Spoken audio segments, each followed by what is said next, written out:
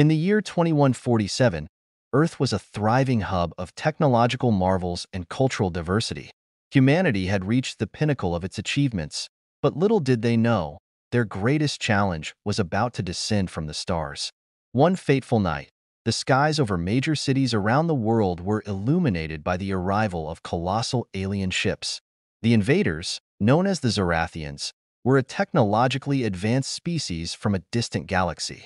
They came with a single purpose, to occupy Earth and harness its resources. The Zorathians swiftly took control, their advanced weaponry and impenetrable defenses rendering human resistance futile. Governments fell, and cities were transformed into alien strongholds. The once vibrant planet was now under the iron grip of the Zorathians. Amidst the chaos, a small group of scientists, soldiers, and civilians formed a resistance movement. Led by Dr. Elena Ramirez, a brilliant astrophysicist, and Captain Marcus Steele, a decorated military strategist, they vowed to reclaim their home. The resistance operated from hidden bases deep within the Earth's wilderness, using guerrilla tactics to disrupt the Zorathian operations. They hacked into alien communication networks, sabotaged supply lines, and launched daring raids on enemy installations. Despite their efforts, the Zorathians' superior technology made victory seem impossible. One day, while analyzing captured alien data, Dr. Ramirez discovered a critical weakness in the Zorathian technology. Their power source, a rare mineral called Zentium, was unstable and could be disrupted with a specific frequency of electromagnetic waves. This revelation sparked hope among the resistance fighters. Captain Steele devised a bold plan to infiltrate the main Zorathian command ship and deploy a device that would emit the disruptive frequency.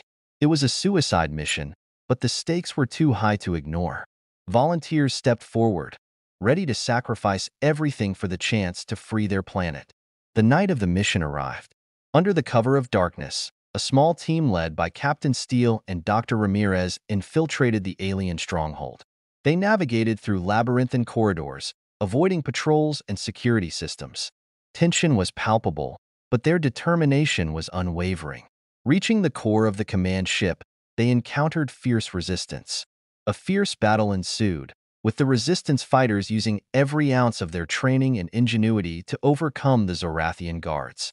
Casualties mounted, but they pressed on, driven by the hope of liberation.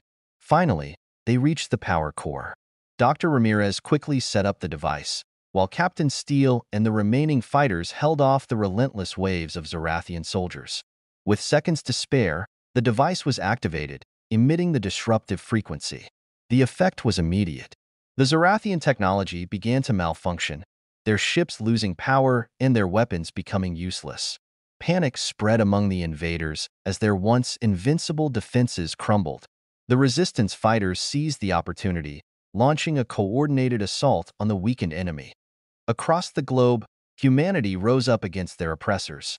The tide had turned, and the Zorathians, now vulnerable, were driven back. The resistance fighters, fueled by newfound hope, fought with unparalleled ferocity. The battle for Earth raged on, but the outcome was no longer in doubt. In a final, desperate bid to save their mission, the Zorathian leaders ordered a retreat. Their ships, now powerless and crippled, fled the planet, leaving behind a trail of destruction. Humanity had won, but the cost was immense. As the last of the alien ships disappeared into the void, the people of Earth began the arduous task of rebuilding. The scars of the invasion would take generations to heal, but the spirit of resilience and unity that had emerged from the struggle would guide them forward.